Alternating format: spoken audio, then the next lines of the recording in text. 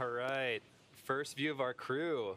Specialist, That looks like Rayyanah. Rayyanah Barnawi, egressing a Dragon capsule. Little help up. Beautiful shot. We can see that capsule now streaking through the night sky.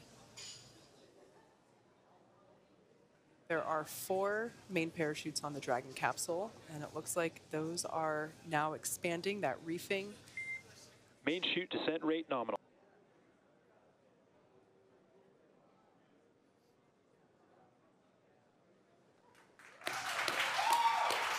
AX2 is back on Earth.